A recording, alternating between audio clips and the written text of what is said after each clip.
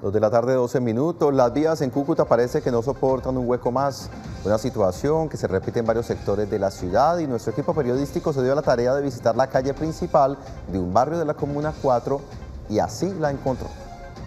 Las maromas que deben hacer los conductores que transitan por las calles de Cúcuta son innumerables, todo para no caer en algún cráter. Esta es la avenida 11 con calle Sexta del barrio Torcoroma. Hay más de 10 huecos en menos de la mitad de la calle. La medida de uno de ellos es de 2,50 metros de ancho con 20 centímetros de profundidad. Personas que se han caído de las motos con niños, eh, señores en bicicletas, señores en los carros que van y se les daña el, tren delantero porque caen en los huecos, porque es que no son huecos, son cráteres, es lo que hay.